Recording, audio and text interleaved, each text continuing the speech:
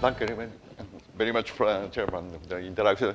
And also I'd like to thank the organizers to give me a very nice chance. I'm, I'm very glad that, I'm going to retire in the next month.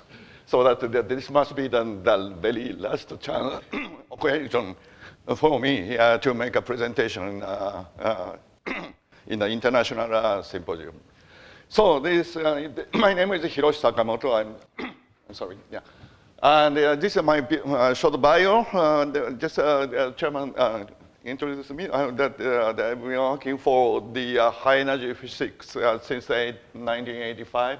I'm building several collider experiments from KEK, Tristan, Venus, and KEKB, and also LHC Atlas.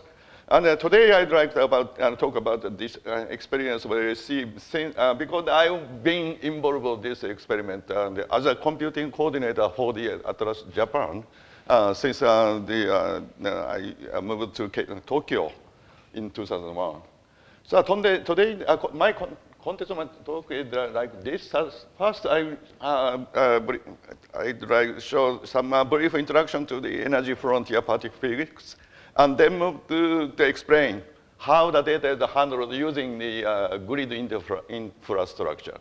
Probably found the people here, the grid is a rather old word or uh, obsolete word, I'm afraid, that they are still the grid is working. And then uh, there, still we have a challenge in, uh, ahead of us, so that finally I want to explain about the, our future plan. So in the slide, there are several icon marks we, we presented. In each uh, represents, for example, CERN, uh, LHC, uh, the Atlas experiment, and WLCG, the worldwide LHC computing GUI, and also the University of Tokyo. So the first, the energy frontier particle physics. Is the, uh, so that it's a uh, uh uh, particle physics, elementary particle is uh, physics for the uh, elementary particles. Uh, but in order to uh, see how the particle behaves, we need a big accelerator. So that the Large Hadron Collider is one of, and the largest one now. So that first, so that first I will start from the Large Hadron Collider. Large Hadron Collider is a proton-proton collider uh, built at uh, near Geneva City, and the, uh, where the uh, protons of uh, 10 to 11th, the very big number of uh, protons are packed in a very small bunch. they circulated in the collider accelerator and accelerated up to, to 7 TeV. What's a 7 TeV? I will explain later. And the, uh, it's also the, another point might be uh, very big in order to achieve this big science, we need a very big international collaboration. So this, this is also the, the, the, important point I want to uh, stress. Uh, this is an aerial view of the uh, CERN. Uh, that you can see uh, the, uh, the uh, nice mountains and, and, the background. These are the European Alps, and the highest one must be the, this one is Mont Blanc, and also the Lake Leman and then Geneva City here. So you can see uh, the uh, runway of the Geneva airport. This is uh, three kilometers long. And the red circle indicates the location where the LHC uh, accelerator is built, 100 meter uh, underground. So the, how big the, is, you can see. That there's a conceptual drawing of the uh, accelerator. They are rather complex one, but the, finally, the proton beams are circulating this way and the other way and collide several points on the, uh, uh, in the ring where the experimental setup is placed. So this is a snapshot from the accelerator that you see. Uh, this is a bending dipole magnet to bend the proton. But the proton has so high energy that a very big magnet is necessary. The uh, field strength is 9 Tesla, but uh, we need 1,200 uh, dipole magnets to bend to circulate the proton. You see, you can see that the, uh, the tunnel is uh, bent a bit slowly toward the right. And also this uh, shows that you see that the Japanese national flag, that the, uh, Japan is also uh, contributing in the very big money uh, to the, uh, the accelerator. So why we need a large collider? It's rather simple, but the, uh, for example, you want to see at the very small part, part of the uh, uh, material, we need a microscopes. But uh, the resolution of the microscope is limited because of the wavelength. That, the, for, for example, optical microscope can see only up, down to something like uh, 500 nanometers or something, because this is the, wavelength of the light. So that uh, in order to see more smaller uh, item, we need much, much shorter wavelengths. These are quantum mechanics.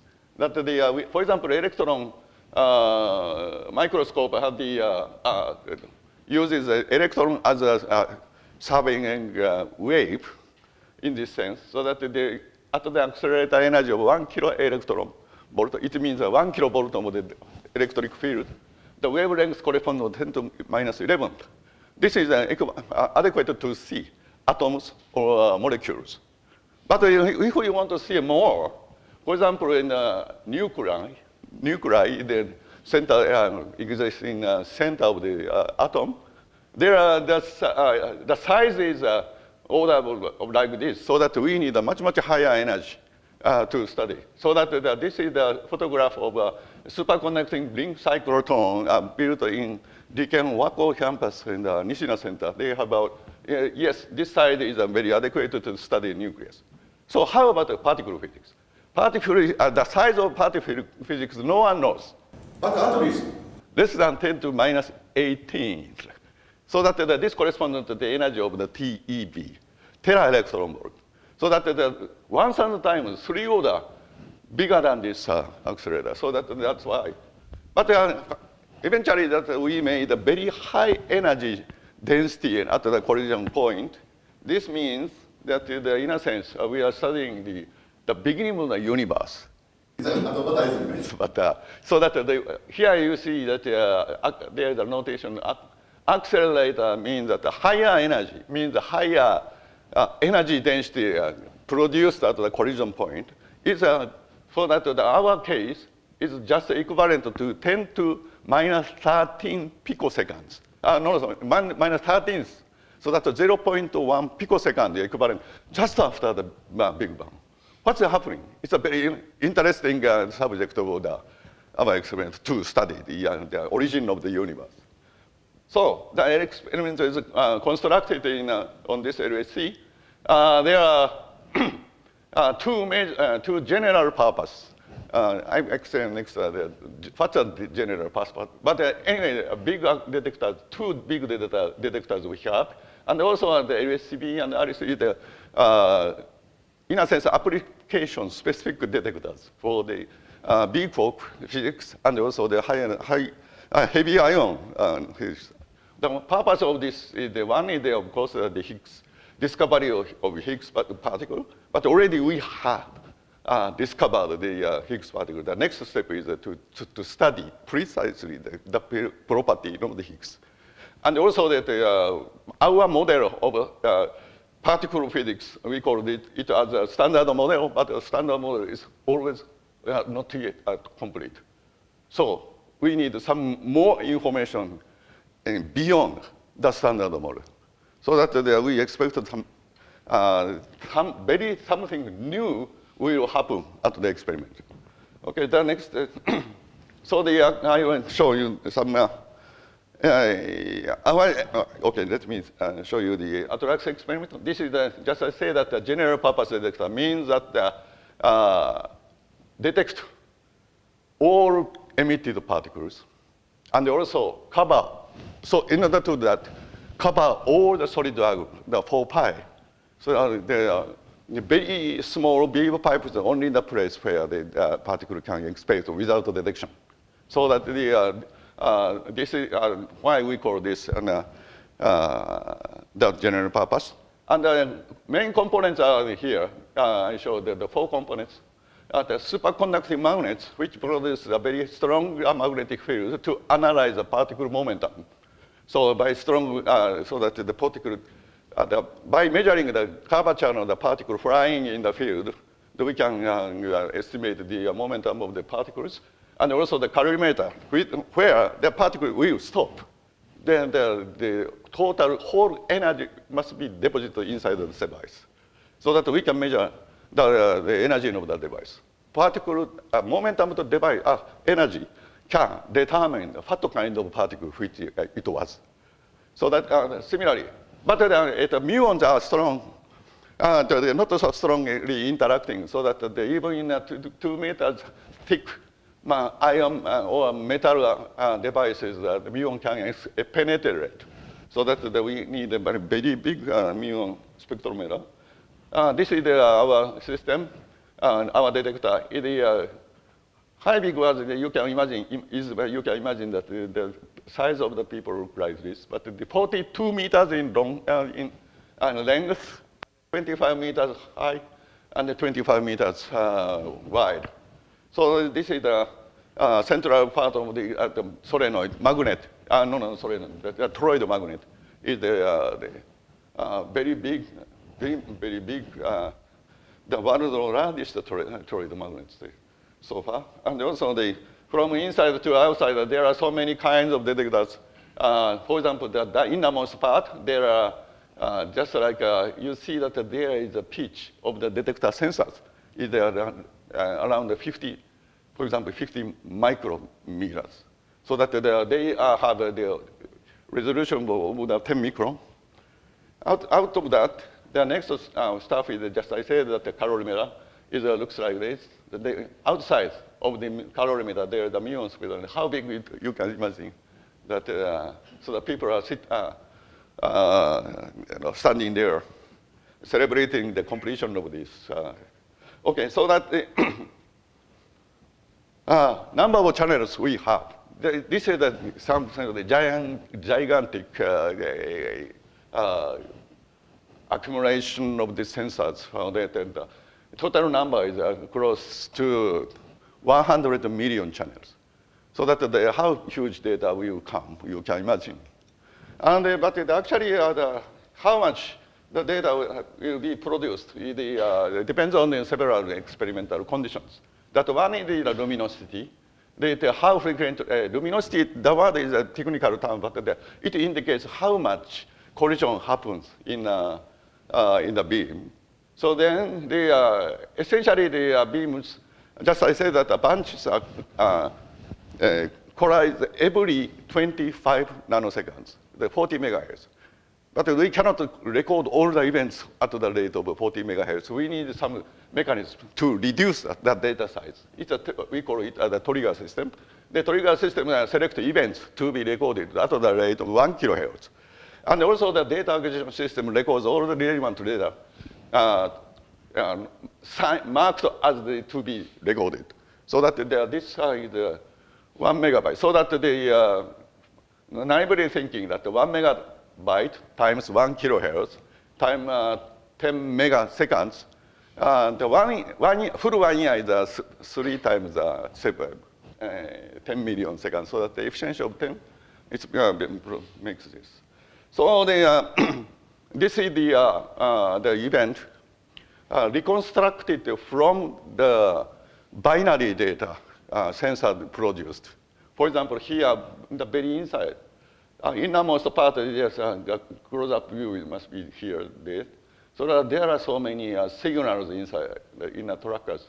But outside, these are the from calorimeters, and the, the outermost is the muon signals that it looks like this. So the, how complicated the data is, uh, you can understand. And this is a very, very close-up view of the central part of the detector. There are so many uh, tracks, but the, our measurement is only this uh, colored part. The white line is all calculation uh, reconstructed from the, the, uh, the hit information given like this. So, and so this is the R-phi view. The beam is coming from out this way, but the, this uh, uh, beam is uh, colliding in uh, this way. So that the, the beam has a length very thin, um, but they have a certain uh, length of 15 centimeters or something. So that there are many, in the beam bunch, at many places, protons are colliding. At least here you see one, two, three, four, five, six, seven. So that the complexity comes from, also from this. So that uh, just I said that we are so that the, we want to reduce uh, the data acquisition rate at one kilohertz so that we need some uh, machinery, uh, so-called uh, trigger system. One, the first stage is a level one trigger. So it's a uh, electronic, uh, very complex electronic system. Uh, it reduces the data with 40 megahertz to 75 kilohertz. Then the uh, high level trigger, this is a software. It's a, actually a very big computer farm of Intel uh, processors. And uh, they finally they, it, it determine which should be recorded. Okay, so that uh, the, this is the, the famous plot of the Higgs particle discovery. Uh, in a two years, there, are two messages. You see here or here. This is a signal from Higgs. But uh, you can count how many signals are there. So that, uh, for example, this peak, the 10 or 20.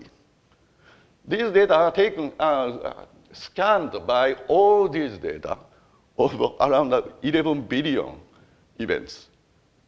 So then the, another important point must be uh, you, uh, we are comparing this experimental data with the Monte Carlo simulation.